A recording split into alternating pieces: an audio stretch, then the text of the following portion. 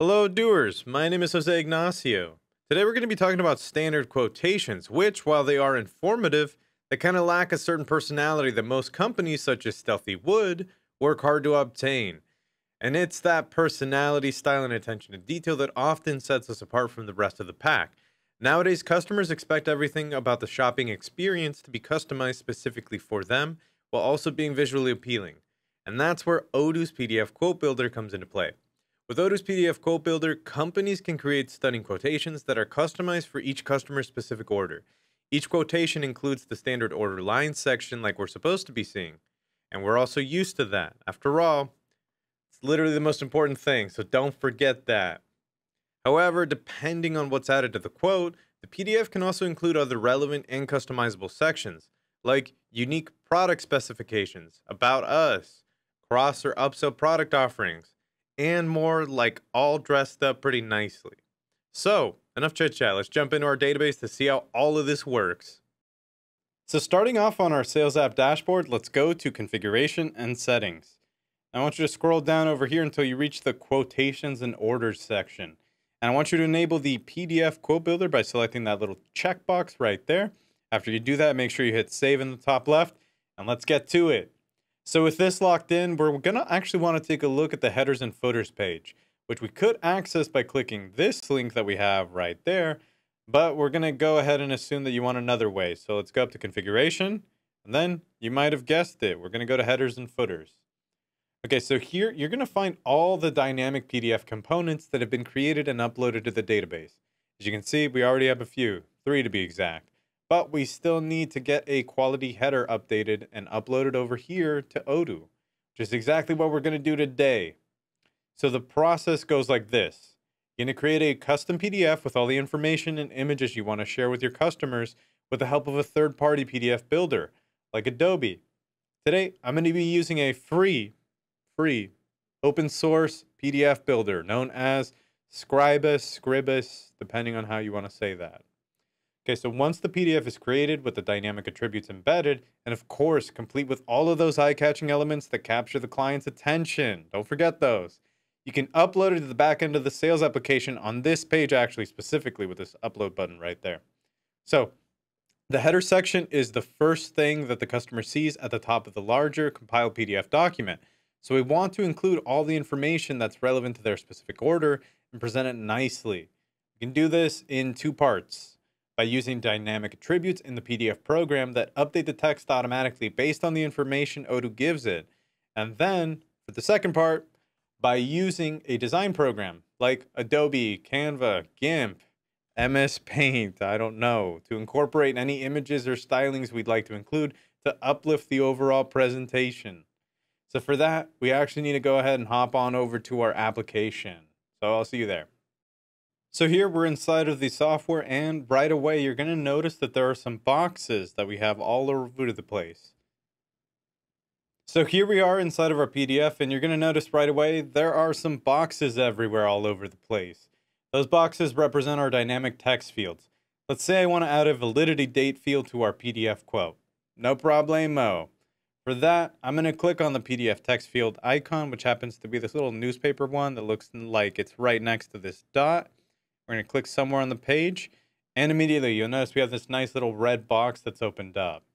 So we're going to drag it around to decide the size that we want, and once that it's perfect and done, we're going to now double click it. Once we do that, we have this pop-up box that's given us a lot of other information. The very first thing where I can do right now is customize the dynamic text name. In our case, this one, we're going to change it to, I'm going to pick validity date. And you're going to see why in a second. Make sure that I type that proper. Okay, and while I'm here and while you're here, there's a lot of other things that you can customize inside of this pop-up. Let's just keep our focus on the important elements for this video. So I'm to select OK so that we can move on. Great. Now just so you know, we do it in lowercase with underscores so it mirrors the technical name value inside of Odoo. If you're actually curious what a technical name for a specific field is inside of Odoo, there's a super easy way to find out. So once you're inside of Odoo, you must be in developer mode. Then once that you are in developer mode, you navigate to orders, quotations, and in our case, select a sales order. So while in developer mode, all you have to do is hover the cursor over the question mark beside your desired field. And in the pop-up over that appears, the technical name can be found in the second row, titled Field. In this case, you can see that the technical name for the expiration field is validity date. And that's pretty cool, right? Okay, so now back over here. Back on our PDF header inside of progress that we're making, let's just say that we've successfully configured all the necessary PDF text fields that we wanted, and we're ready for the next step. Well, awesome. Now we need to make sure that the mapping between the text field and the dynamic field are set up correctly in Odoo. So first, we're actually going to go up to File, and then what you want to do from here is select Export. And then that brings us to a new menu. Now inside of here, you want to select Save as PDF. And I need you to ignore the errors for now, I know. And in this case, ignore the errors. And now once that we're finally done, select Save. Great. Now we can head back over to Odoo. So I'll see you there. So here we are back inside of our Odoo database, and I happen to be in the configurations and header slash footer section. So once uploaded, by selecting upload over here to our header PDF, it's going to appear immediately over here in the same list. So we're actually going to open it by selecting it once, and we're going to select the configure dynamic fields option right there. Now, the form field name column over here represents the PDF text field that we added to the document with our PDF builder. The path field over here represents the technical name for the desired field inside of Odoo. And looking at our latest validity date one that we have, well, it matches the correct path in Odoo, meaning Odoo is able to automatically recognize it and form its own path without any manual intervention. Saves us a lot of time. You're also going to notice there's a funny one. We have partner ID name over here, but we have partner ID dot name over here with a period. And that's because in the PDF builder that we used, it didn't allow the use of periods in the field name. But if you get close enough and you compensate with underscores that we have over here, Odoo is able to offer the closest suggestion, which in this case perfect. And if we jump back to our PDF form using the breadcrumbs, which today is pretzels, it's a bread, we're going to come over here to this page where there's a lot of useful fields of information. We can see the document type appears displayed along with our file name, and we can even add this to quotation templates if we'd like right below that. That way, whenever we use those configured templates inside of a quotation, we're going to have this PDF option available on the quotation form. So let's select the very first one that we have right there. You can also designate this, and I'm sure you can see, to be to a specific company. If you're working in a multi-company environment, this might be something that you like. If you leave it blank, it's going to apply to all companies in the database. We can also see immediately we have our form fields included here, which if you recall, were in the list of dynamic fields we just saw a moment ago, along with the history section as well. You know, when, who created this, when. But once we're done with looking at all of this, I'm going to save this manually. All right, everything looked good. Let's see this sucker in action. So to do that, we're going to go to Orders, Quotations, Select New, and let's get started. I'm going to bother Abigail. I'm feeling like the letter A today. We're going to select our office furniture as the quotation template because I just talked about that one as well. Okay, there we go. Now this got started right there. Okay, next, let's jump into the quote builder tab here that we have. Let me go right there.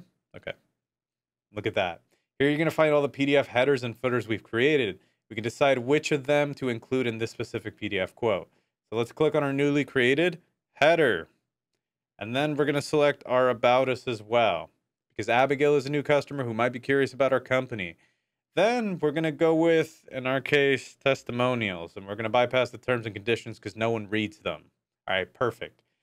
Then, with all our selections and configurations complete, it's time to send this quotation to the customer for their review and approval. So we're going to select send by email. Going to let that cook for a second because it's making a beautiful PDF slash email for us. And while that flies over to Abigail's inbox, once we hit send, we can actually take a look at the PDF quote just to see that, just by taking a quick peek. And, uh, what do you CO doers in there? Everything we've been cooking this whole time. There is our validity date as well, right where we wanted it to, along with the custom sales order number, the customer's name. Oh my God, we have everything and so much more. And there's a lot of uh, cool things, but oh, We even have our quotation right there. Of course it's there. And there you have it, Odooers. You just saw how easy it is to create and customize and use Odoo's PDF quote builder. Please stay tuned for more Odoo sales tutorials coming your way. You I'm sure you can't wait to see what I'm cooking. Grab a snack. Zapp's chips, please sponsor me.